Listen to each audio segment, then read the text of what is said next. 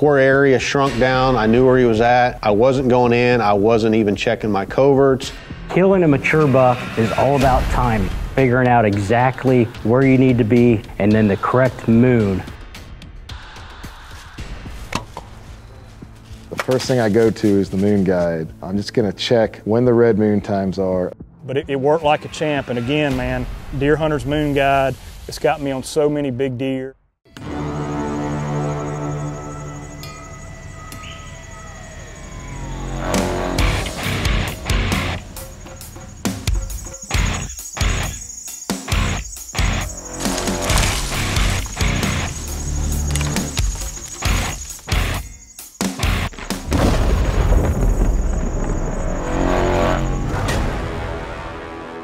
Team 200 is presented by Moon Guide.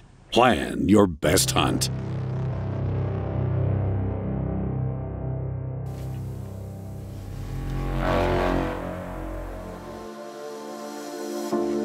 The mature whitetail buck, without a doubt, is the most sought after trophy in North America.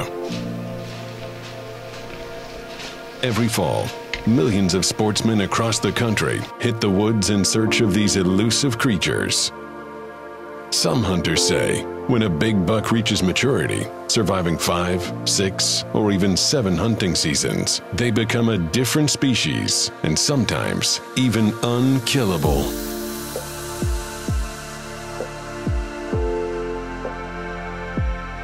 What does it take to harvest one of these giants? Better yet, what does it take to harvest them consistently, year after year? This week, we take an in-depth look at this specific question and how the guys from Team 200 knock down the kind of bucks that most hunters only dream about on a regular basis.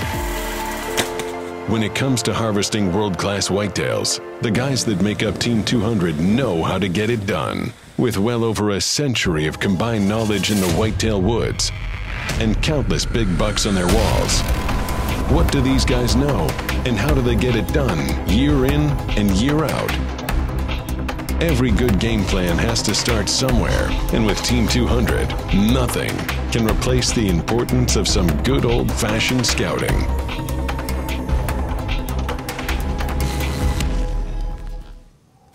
You know, I think in general you have deer hunters and then you have hunters that are after specific deer. And for the last two decades, I've really focused on hunting specific animals. And, you know, when I break it down, I probably actually spend 10 days scouting to every one that I spend hunting. The first thing I go to is the moon guide. I'm just gonna check when the red moon times are, especially the early and late seasons when you're depending on deer to break cover to eat or feed. Uh, and, and, and you'll just notice that there's certain times of the month where these deer are more active than others. And, and this is kind of a, a, a an out of the bag secret now, but the Deer Hunter's Moon Guide can tell you when those mature bucks are going to be on their feet in daylight doing all that legwork and, and, observation and figuring out exactly where you need to be to kill that animal. If you're patient enough and you've got enough discipline to do that work and to wait for the perfect time, most of the time you can go in and get it done the first time in. I can't believe it. We've got a giant deer on the ground. By far the biggest buck I've ever killed. And I had a Ozonics pointed. He didn't pick up anything. Gave me a 30 yard shot. Thank God Start seeing more deer more often and closer than you ever thought possible with Ozonics. Ozonics is the only product that actively and continually attacks game spooking odor in the downwind airstream during your entire hunt, allowing you to beat an animal's number one defense, its nose. Summer can be a great time to catch big bucks with their guards down. Bachelor groups are often seen gorging themselves on the lush green leaves of soybeans and alfalfa during the dog days of summer. But even with the open of archery season still months away, the oldest and wisest animals still don't like to be seen. These seasoned hunters know there are only a handful of days each month when they have their best chance of catching these giants on the move in daylight Whether it's during the heat of the summer months or the middle of bow season, these guys believe the red moon is the key to daylight activity when it comes to chasing giant whitetails. Know, I get asked all the time, what is the red moon? What's the deal about the red moon? tell you to, in its simplest form, the red moon is a handful of days every month when either the overhead or underfoot moon peaks at prime time. Um, first and last hour of daylight when deer want to move anyway. The best nights to catch those big old bucks out feeding before dark are right on the red moon. To say, this is just, it's an incredible, incredible animal. Biggest buck I've ever seen. And the only nights I was able to actually get footage of this buck during daylight was right on the red moon. You know, that was the light bulb moment for me when it comes to my summer scouting. Got some video of him this summer in velvet and uh, a couple times out of velvet. And I knew at that point that I'd been missing the boat for the last 10 years and that I needed to start paying attention to the red moon days on the moon guide for not just my hunting season, but for summer scouting too. You know, for me, I've, I've killed seven Boone and Crockett's, uh, one over 200. Just trying to put some of the pieces to the puzzle together, and that's what you got to do on these big deer. You can't just show up and expect to kill them. So, you know, the Moon Guide played a huge role in, in the hunt for Elvis. Uh, everyone knows it, it was a three-year hunt. A lot of things happened in between, but um, I was waiting for the first red moon and the right wind direction ended up being one of the best velvet nights of my life. You know, I had a, at that year, he was probably 220 inch um, whitetail, literally, you know, 35 yards from me, standing in a bean, bean field feeding.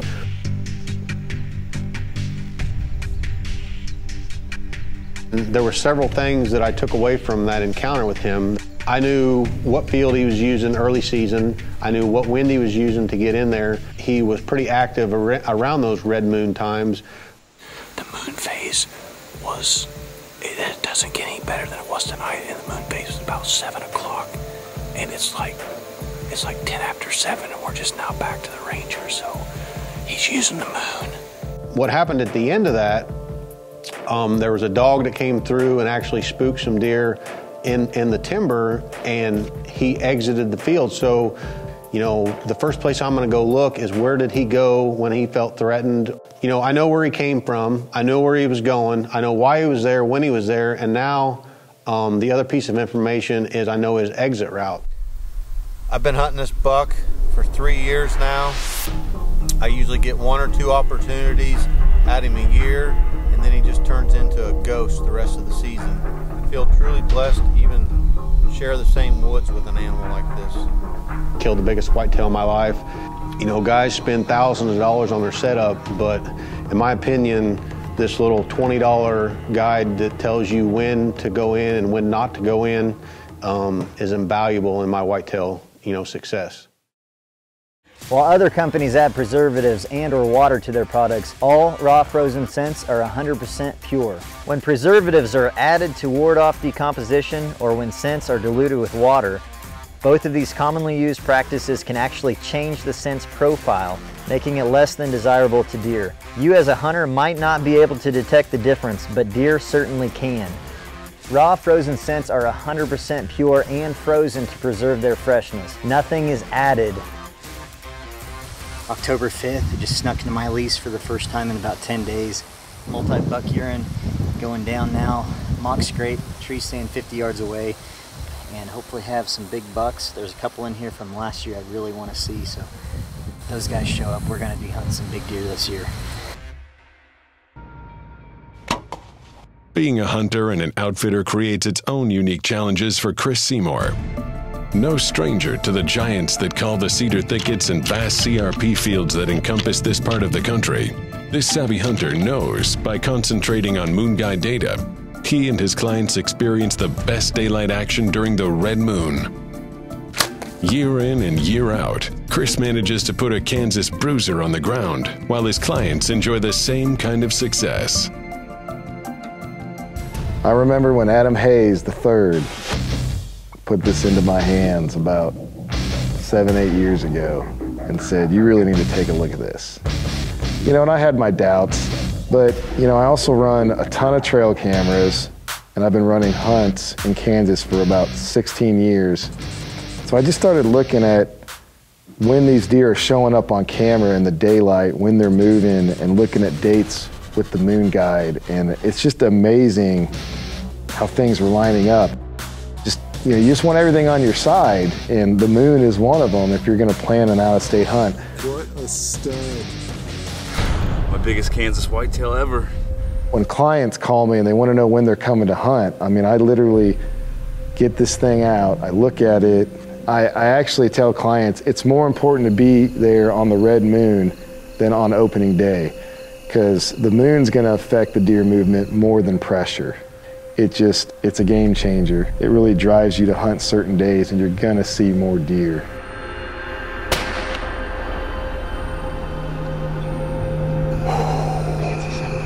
Oh, it's a monster. Holy cow. Look at this Kansas giant.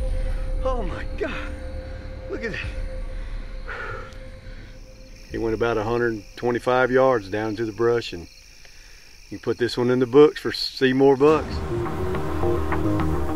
Every year, more and more hunters are experiencing incredible results by incorporating the Moon Guide's data into their game plan, and the results speak for themselves.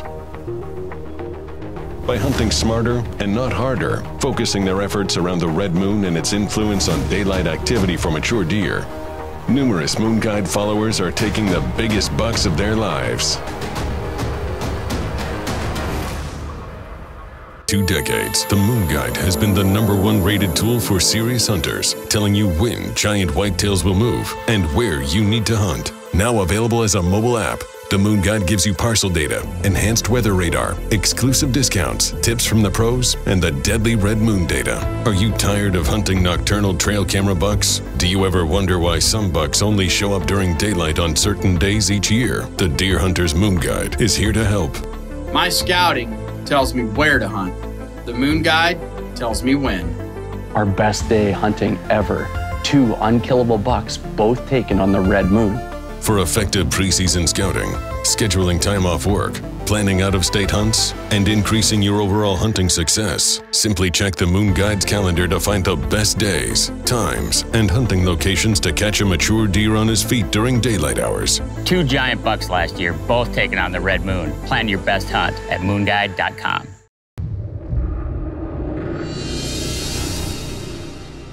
Planning an out of state hunting trip can be a strategic nightmare. Most hunters try and schedule these adventures around the November breeding season, but determining what stage of the rut happens when and throwing unpredictable weather factors into the equation can leave most hunters scratching their heads when it comes to picking the right dates for a trip far from home. Team 200 members have enjoyed tremendous success in November following the red moon and using the information from the Moon Guide to predict the best weeks for success months in advance. All right. Traveling from his home in South Carolina every year to the Midwest in search of monster bucks, Joe Miles has consistently harvested multiple giant whitetails by scheduling his trips around the red moon. A lot of guys will get trail camera pictures of these giant bucks, and there'll be all at night, and then there'll be one picture of him at daylight.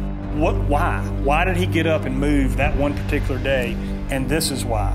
The moon's influence on whitetail deer is huge. I've killed over 15 mature bucks using the guide, and on my 29 acre track in Illinois, I've shot a 165, a 186, and a 183 back to back to back, all on the red moon.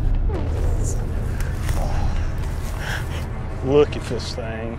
My goodness. It worked like a champ, and again, man, Deer Hunter's Moon Guide is an inexpensive tool, been around since the 90s, and, and I can't say enough about it. It just, uh, it's got me on so many big deer and, and uh, gotten me daylight action, and that's what it's all about. You know, we travel from South Carolina to come out to the Midwest, and our days are limited, and we follow this thing every year religiously.